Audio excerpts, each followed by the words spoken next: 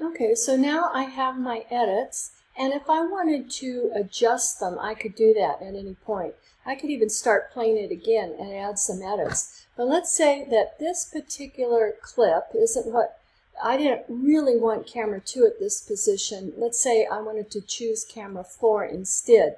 So I just highlight that edit and I click camera 4. So now we see if I play this, we've got camera 4 instead. I could also trim it, so I could trim in my edit and have this edit be longer or shorter. And I could click in the middle and add a transition, such as my default dissolve. Now, if I wanted to see what the original video looked like, I could click on my multicam stack here, and I could right click. I could say open in timeline.